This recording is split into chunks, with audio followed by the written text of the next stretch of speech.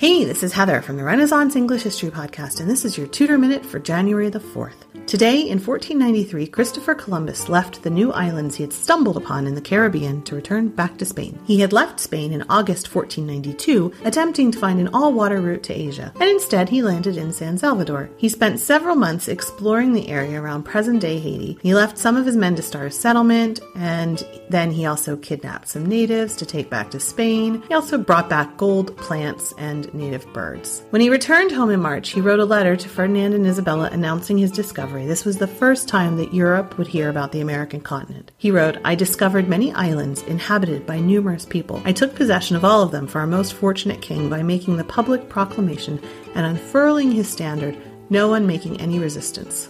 That's your Tudor minute for today. Remember, you can dive deeper into life in 16th century England through the Renaissance English History podcast at englandcast.com.